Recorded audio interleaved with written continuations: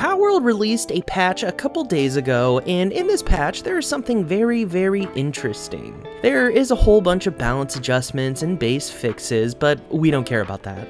Nope, not for today's video. We care about this, added meteorite and supply drop interval settings to world options. Now, dear viewer, I had a thought. What would happen if you push that idea to its limits? What if I were to, I don't know, set it that I had meteorites or supply drops fall every one minute? How overpowered could I get? Oh my god. I hit for a thousand? Could I beat all the towers? Watch to the end to find out.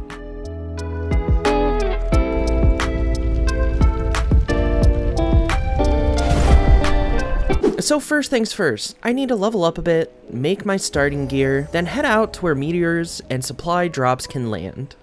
My experience rate is 3x, so leveling up really isn't that big of a deal. I spent a lot of time in the starting area, I got some resources, I built out my starting gear, and by the time I was ready to leave, I was level 7. It is time to start exploring. During my exploration, I ran into my very first lucky pal, Foxparks. I hear a lucky. Where is it?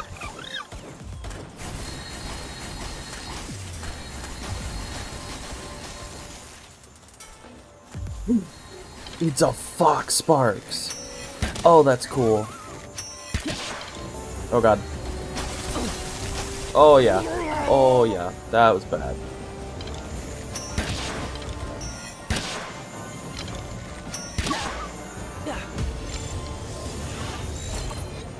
Come on. Nice. Whew. That was pretty insane. But we got our very first pal. Very excited that it's a Foxparks too. That's that's so good. That is so good for us. This was a huge win for me. A, I love Foxparks, but B, well, there really is no B. I just love Foxparks, and it's a super cool pal. I explored around in the night, and then the sky started to fall. We had our very first meteorite land.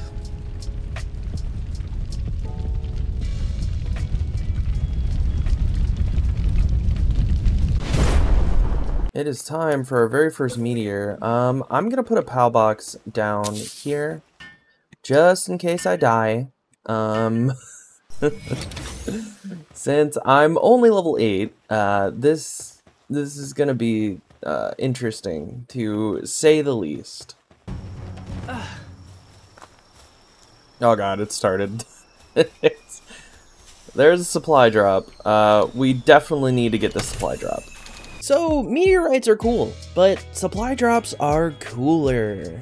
Simply because supply drops drop uh, remedies that will increase your stats. And that's pretty much the whole concept of the video. Like, how OP can I get?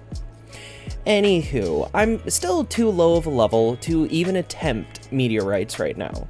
So I think it's probably time to start leveling up. To do that, I decided it was time to start catching a whole bunch of pals. I hit level 9, I caught some more pals, and then I hit level 10.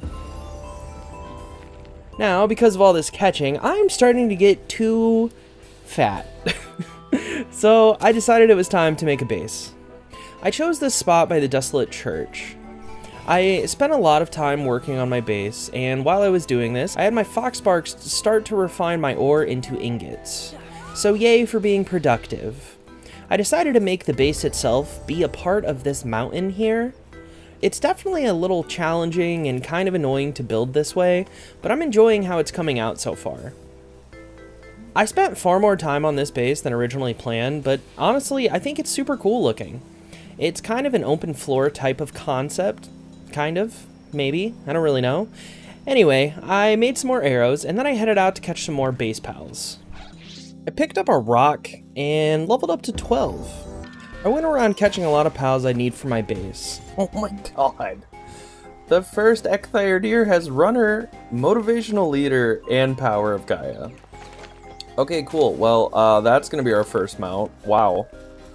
Uh, yeah, that's that that's insane. Holy crap.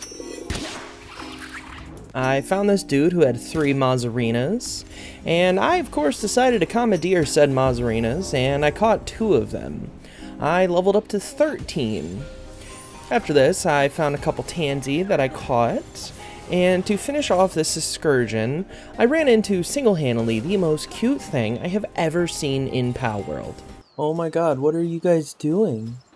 Oh, oh, oh my god, that was single-handedly the cutest thing I have ever seen Teafant do. Oh god. Oh wow. Um, I don't know what to say. I am uh, speechless. Oh wow. that was so cute. Oh my god. It's nighttime now, and there are two pals that I'd like to catch. First of the two pals is going to be a Depresso, because honestly, dear viewer, no base is complete without a Depresso, and this is a hill that I'm willing to die on. The last pal that I wanted to get was a Tombat, but for the absolute life of me, I could not find one at all. And I mean, I searched for a long time, but they weren't here. Whatever. Instead, I caught this sleeping Vixy. Then I was planning on catching all three of these Rushoar, but my lovely Foxparks had another idea, so I ended up with two. I'm back at my base now, and I'm finally at the point where I can have some base pals. I dropped off which pals that I wanted to be in the base, and then I leveled up my base as much as I could. I made the high quality workbench, then made myself a crossbow. I had my very first raid happen and I really wasn't all that prepared, so I did make a few arrows before they got here. This was a pretty easy raid and I honestly kind of feel a little bad for the syndicate members that were unlucky enough to get sent here. I saw a couple Vixy after I took those members out and caught two of them. Because of this, I leveled up to 15. And in reading off my script, I don't know when I leveled up to 14. Huh. But I'm 15 now, so that's cool. I made more arrows, then I made a metal pickaxe. I spent quite a while mining for ore, then I had my Foxparks refine it into ingots. While waiting for said ingots, I worked on my base a bit more. I don't really know where I'm taking this, but I'm really falling into this whole concept of everything being like really close together inside of this mountain. Yeah, honestly, I think this room is so cool. I don't know what else to say about it. I just really like it. I think it's awesome. I made a sphere workbench, then a PAL gear bench, because I completely forgot that I got a swift Eikthyrdeer. Once I made the saddle, I decided it was probably time to go back out. The base is self-sufficient now, and it looks pretty. And now, when I go out, I won't have any worries about all my little buddies. I first went to the small settlement to buy some arrows and wheat seeds. Next, I went to fight Chillet, but before I do that, I want to get Foxparks' PAL gear, so I can use it as a flamethrower. I got the flame organs I needed to make the harness, then hunted for Lamball to get some wool and meat. I went back to my base, and then I made Foxparks' harness. With the harness in hand, it is time to fight Chillet. This went about how you would expect it to. I used my cute little lucky flamethrower, got Chillet's health down pretty low, and then I caught it with a Pal Sphere. This leveled me up to 16. I learned how to make the feed bag with my ancient technology point too. I made myself the heat-resistant pelt armor and the feed bag, and now it is officially finally time for us to see just how overpowered I can get. I headed towards the location I knew meteors and supply drops would fall. Oh, right, it has begun. uh, so I started this video a couple days ago. I cannot remember what I actually set the setting to. Is it every minute? Oh, young and naive megabits of the past, yes. Yes, it is. It is indeed every minute. Uh, this becomes insane. Uh, absolutely insane. Literally every single minute, a meteor or a supply drop will drop. It's nuts. The goal is to get as many supply drops as I can. I think I'm going to do this for a few minutes to see what I get. Okay, so I am definitely not ready to take on Xenovaders yet. Huh. oh, oh, I forgot to change my drop penalty. Dang it. Alright, so safe to say, Baby Megabits is not fully ready to take on the uh, chaotic mayhem known as meteors falling every minute. And you know, honestly, that's incredibly clear to me now. I just need to focus on supply drops. But before that, we need to conduct a science experiment of sorts. Okay, I want to test the theory. Is the meteorite gonna fall on me?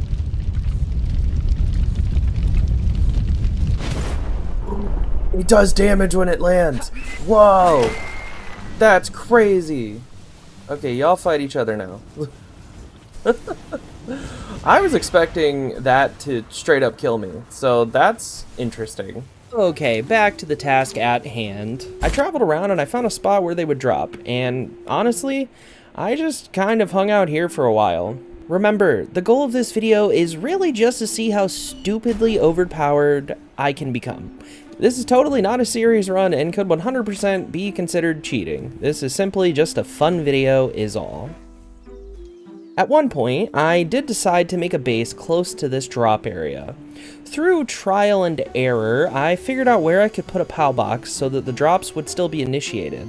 I originally had the base computer like right around here, but because of this, meteors or supply drops wouldn't drop anymore. So I moved the POW box over here.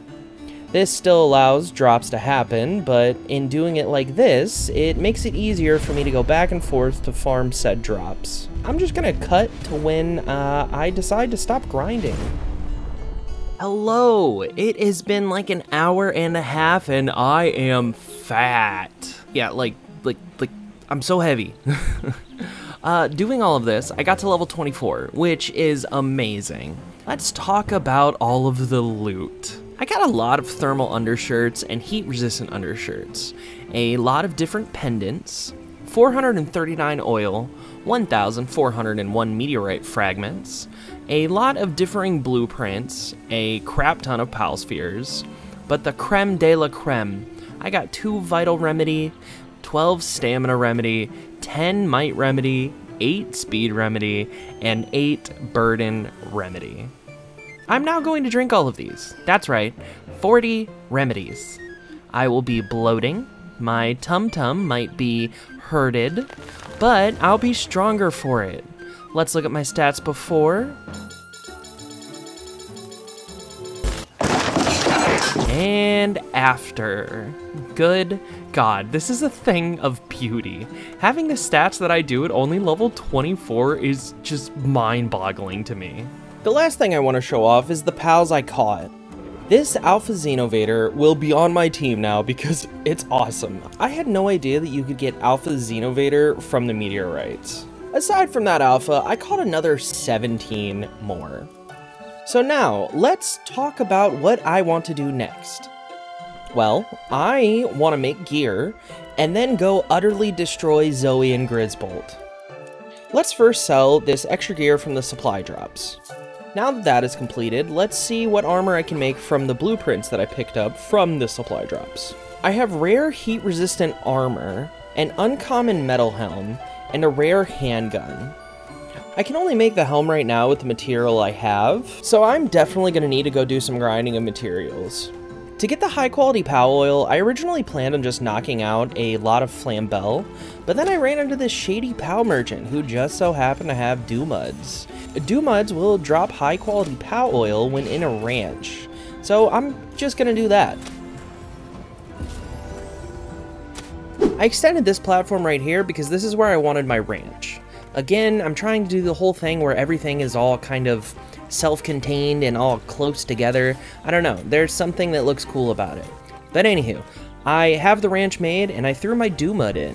While waiting for my Dumud to get me some high quality POW oil, I decided it was time to make a defense wall around my base. I think it looks really nice. After Palworld updated how we could actually do our defense walls, I really like putting up defense walls now. They look so good. After this, I went out hunting. I needed leather and I needed a lot of wool to make cloth. Alright, it has been a long time, but I finally have all the materials I need.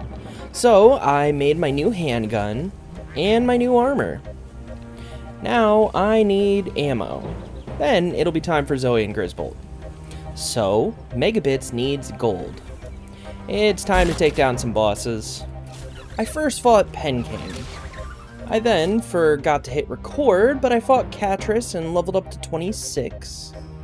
I then fought Grintale.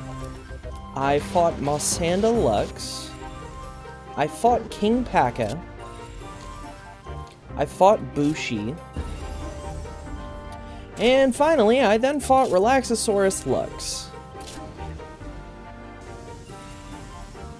At this point, I felt like I had enough treasure, so I decided to start heading to Fisherman's Point to buy ammo. While doing this, I did stop at every single supply drop that landed. With all the extra gear and treasures sold, I was able to buy 372 bullets. There's one more thing I need to do before we can take on Zoe and Grizbolt. I made a PAL Essence Condenser, then I condensed my Xenovator. It's now time to take down Zoe and Grizbolt.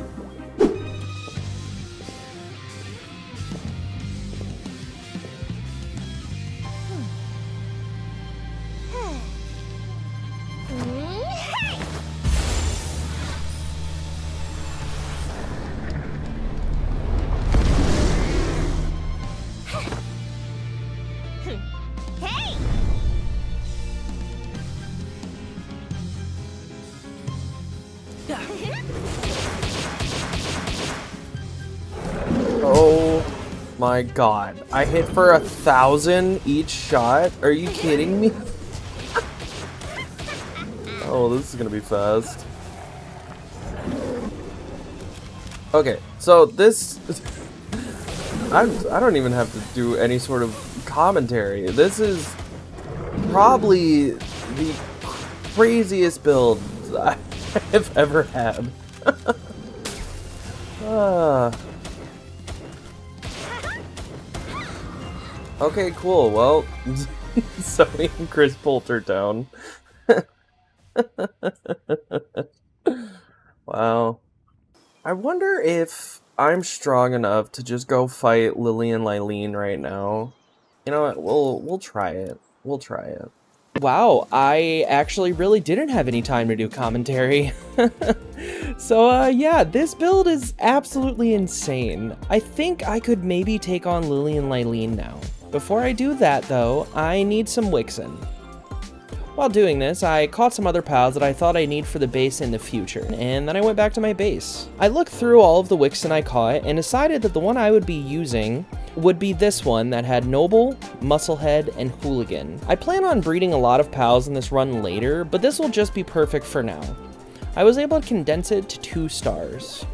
I used some training manuals to level it up, and then it was finally time to take on Tower 2.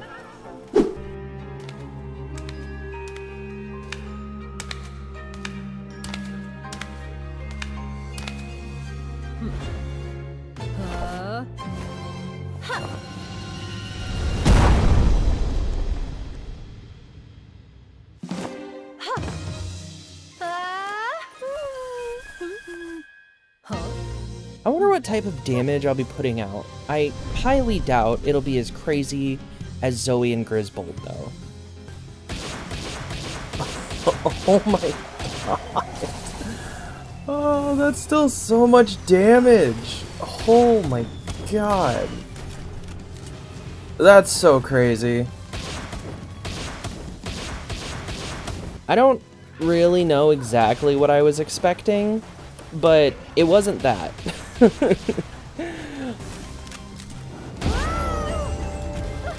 nice. okay, cool. Lily and Lyleen, done. well, it's time to talk next steps. I think I need to work on my base a bit and begin breeding pals. Before I do that, I need a flying pal, which means it's time to fight Beakon. I caught Beakon with ease, but then I remembered that I can't even use its saddle for another four levels. That's fine, I'll just level up a bit later. Now, I think I want to catch an Elphidran, and use that on my team since I never use it. These runs are about trying new things, so who knows, maybe I don't even use Beakon and I just stick with Elphidran.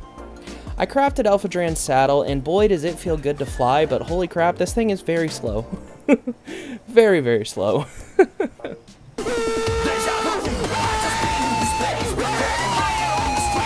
now it is time for base things. After a lot of trial and error, I was finally able to find a spot for my breeding farm and I got it built. Now, I think it's time to go catch some better base pals. My first stop is the number one wildlife sanctuary. There's a lot of rarer pals here that I'd like to grab. Nothing too particular, just realistically whatever I can find. I'm not gonna lie, I miss my deer. Elphidran is just so slow. It is as slow as molasses. In doing all of the catching here, I did level up to 31. I didn't stay too much longer after this and decided to go back to my base to change my pals up. I went to the small settlement to buy some wheat so I can make flour and then in turn make cake. I had my Penking work at my mill to convert the wheat into flour. I now have 56 flour. Let's see how many cakes I can make with that. I started making 11 cakes, then made what gunpowder I could. With the gunpowder I made, I was able to make 400 more bullets for my gun. I have some cakes made finally, which means it's time to start breeding. The pal I want to go for is going to be an Anubis. I'm choosing Anubis because its partner skill will change my attack to ground type, which is going to be perfect for the next tower against Axel and Orserk. To breed for Anubis, I need an Incineram.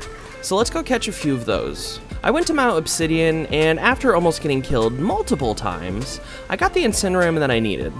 What's crazy is, I was running away because I was about to die, and then this happened. Oh my god, wait, I was writing my script! oh god. Oh, this is the first Xenogard I've seen. Oh man, um... And all I have is Hyperspheres. Oh, this is bad. Okay. One more hypersphere after this. Oh, first try. Let's go. That was insane. oh, I was not ready for that. Oh my gosh. Okay, well, cool. We got our very first Xeno uh, Xenovator. Also, I realize I said Xenovator that whole time. I know it's Xenogard, my brain just was running on one of the four pistons it has. What you doing there, buddy? just just sleeping? Just sleeping on the cooler box? I'm back at my base now, and it's time to begin breeding. Based on the calculator, I should be able to breed an Incineram with an Elphidran to get an Anubis. So let's do that. While waiting for eggs, I made Fangalope's saddle, and holy crap. Why have I never used this pal before? This thing is amazing. Oh, by the way, I, I caught a Fangalope in Mount Obsidian. That's that's how I have a Fangalope. In Megabits fashion, I went AFK waiting for eggs, and now I no longer have any cake left, but I have all these Anubis eggs, so that's cool. I got the eggs, made an incubator, then started to hatch them. I got one that has Nocturnal and Sirius, so I put that in my base. Then I put one of them in my team. I then made more gunpowder, and then crafted more ammo for my handgun. After I finished making the rest of my bullets, I decided it was time to level up. I was on my way to do dungeons when I ran into another Xenogard. I was planning on catching it until it grabbed a platter, then served me my own butt. It was pretty uncomfortable, and honestly, I don't really recommend it. Don't don't get your butt served on a platter. Here you go. It's your ass. I did one dungeon, caught a whole bunch of Gobfin, leveled up to 33, fought, and then caught Warsect, did another dungeon, caught some pals inside of said dungeon, leveled up to 34, beat said dungeon, found my second lucky of this run. Oh, hello there. Uh, Ring of Mercy's on. What is up, Lucky Gobfin? Caught it. Fought Elphidran.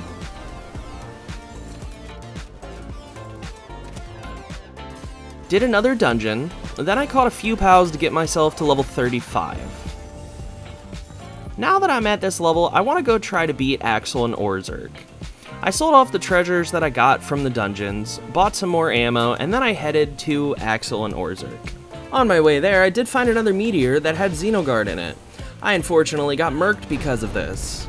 I continued my journey to the tower once again, and I found another meteor with Xenogard in it. But this time, I was out for a vengeance, and I caught it. So that was nice. After doing a lot of Fangalope Skyrim horse physics, I got to the tower, and I went inside.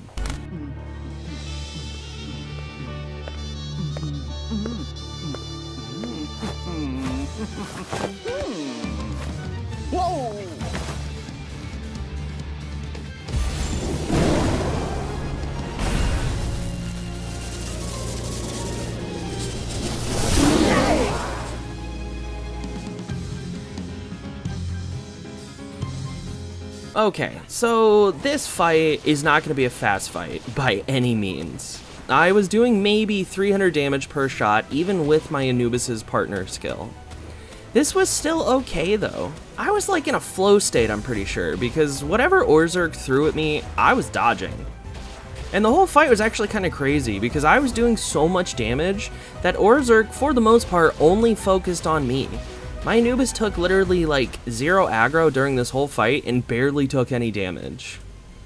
The 5 minute mark hit, and I knew that my Anubis and I would come out as the victors in this fight, because we already did far more than half of its health.